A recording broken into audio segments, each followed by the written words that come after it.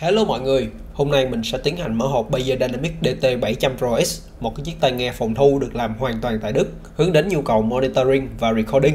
Mời anh em theo mình nha.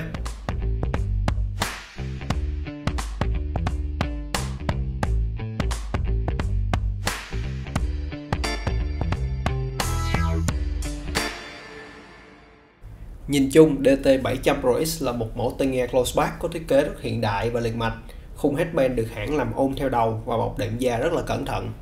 E-cup cũng được tối giản hóa với cái dòng chữ DT700 RX khắc kim.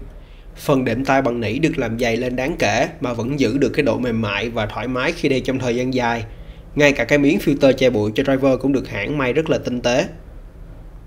Bên cạnh những thay đổi về mặt ngoại quan so với người tiền nhiệm, DT700 RX được trang bị driver Stellar 45 hoàn toàn mới với trở kháng 48 ohm và độ nhạy 100 decibel, giải tần đáp ứng là từ 5 cho tới 40 kHz. Em này sử dụng socket mini XLR để kết nối với dây rời nên sẽ rất tiện cho anh em trong việc thay thế hay là nâng cấp ha.